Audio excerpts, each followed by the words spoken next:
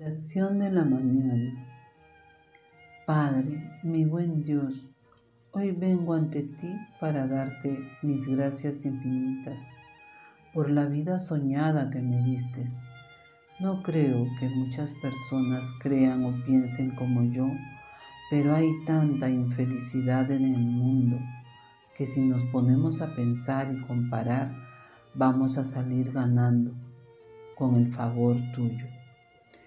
Hermanos, tenemos que saber de lo que está pasando a nuestro alrededor, pues a veces vivimos atrapados en nuestros propios pensamientos o nos sentimos como si nuestra vida dependiera de otra persona o de varias, y no es así.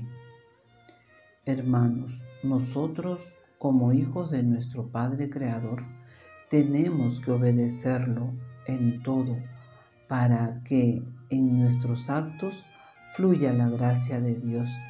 Así seremos hijos con personalidad, con felicidad, con una verdadera actitud frente a la vida.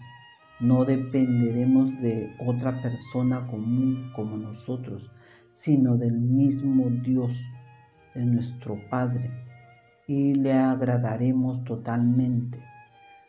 No saben, hermanos, que recibiremos todas sus bendiciones para cada uno de nosotros. Gracias, Padre, por todo. Ahora me voy a trabajar. Te pido protección para mis hijos como siempre y que yo vaya y regrese con bien dándote gracias. Y siempre bendiciones para todos con los que me cruce en la calle o en mi trabajo bendiciones para mis compañeros y al llegar a mi casa que encuentre todo bien.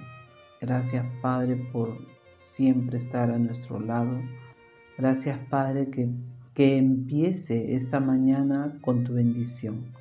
Gracias, bendiciones para todos mis hermanos. Amén.